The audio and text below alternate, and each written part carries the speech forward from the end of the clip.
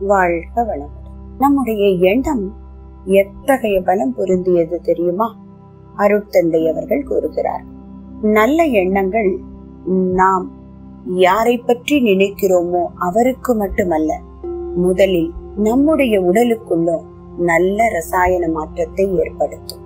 இதே விதிதான் மாறான எண்ணத்திற்கும். தீய எண்ணங்களை மனதுக்குள்ள நினைக்கும் போது அது உடலுக்குள்ளே தீய ரசாயன மாற்றத்தை ஏற்படுத்தி செல்லும். அப்போ உடலுக்குள்ளே ஏற்படக்கூடிய ரசாயன மாற்றத்திற்கு எண்ணம் பெரும் பங்கு வகிக்கிறது என்கிறார் அருட்தந்தை அவர்கள்.